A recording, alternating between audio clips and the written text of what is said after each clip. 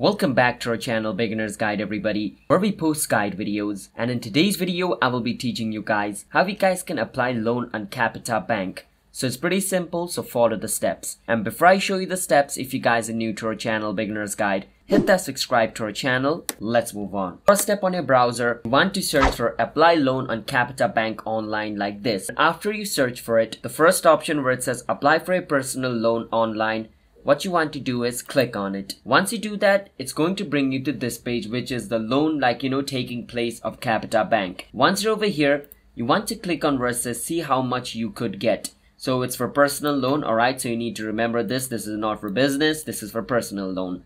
Click on see how much you could get. Once you do that, it's going to take you to this page where you guys can apply for a loan. So you need to fill this form up like you need to provide your personal information and verify who you are after you do that, you will get the result of whether you can get a loan or not.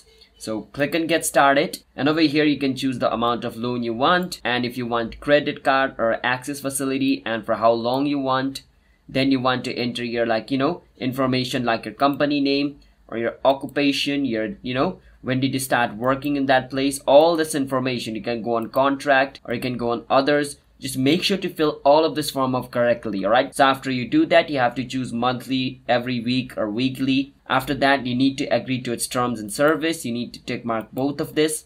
And click on I'm not a robot to verify you're not a robot.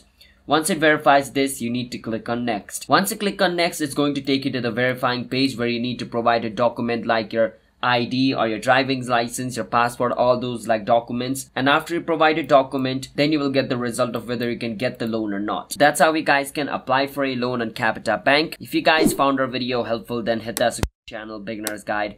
I'll see you guys next time.